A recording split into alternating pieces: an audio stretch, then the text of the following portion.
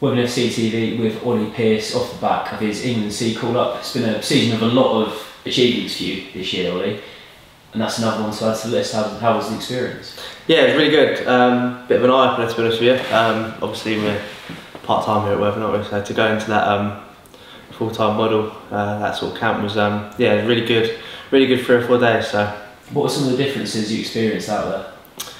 uh, you know, just the way you sort of looked after, if you know what I mean. You know, uh, fed, breakfast, lunch, dinner, that sort of stuff. Hotel environment, you know, pool, stretching sessions, the training sessions. You know, everything was just. Where it's a bit different here, we've only got two evenings a week. You're sort of there with everyone in the group, um, sort of full time, and it was um, yeah, it was a really good experience. How did you find being in that group and, well, being in Wales? Because I think you might have been a bit worried about getting bored before you went. yeah, we were stuck in the hotel for three or four days, but um, no, it was really good. Really good group of lads. Obviously, quite an experienced group that have probably played at that sort of national league level and higher before as well. So, and you could probably see why why they've been there and, and they've done it. You know, real good group of lads, very professional. Um, and yeah, yeah, it was really good, really good experience. Talking about the game itself, uh, second half you come on midway through and you had a couple of good chances there. I mean, unbelievable save from the goalkeeper within two minutes of you being on the pitch. Talk us through the game itself. Yeah, it was difficult conditions to be fair. Absolutely chucked it down all game, and the pitch was um, pitch was quite heavy. So um, yeah, I just you know when I come on, just try to get involved as much as I can. Luckily, had a couple of good chances. Probably should have scored the one in the last minute. To fair, keeper made a, a decent save, but yeah, just tried to sort of go on and sort of show what I'm about and try and get involved a bit. And had a couple of really good chances. So made a good save the first one. Probably should have tried to place it instead of put my foot through it, but you know. Um, but yeah, yeah, great experience all round, and you know, I was lucky enough to get on on the pitch.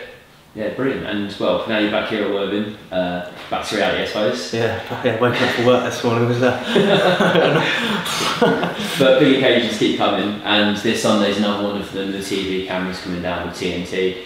Big occasion for the club, but another game for you guys, I suppose. yeah, really exciting. Obviously, cameras are coming, so good chance to showcase ourselves and and get back to winning ways. I suppose you know we've been a bit of a dip last last three games, so um, you know everyone should uh, should go up a gear if the if the cameras are here. So it's a really exciting time. Um, looking forward to it. And What are you thinking for the game in particular? We've obviously come across Bath already a couple of times this season, and, and no, you know, no difficult opponent, but definitely a difficult team to play against.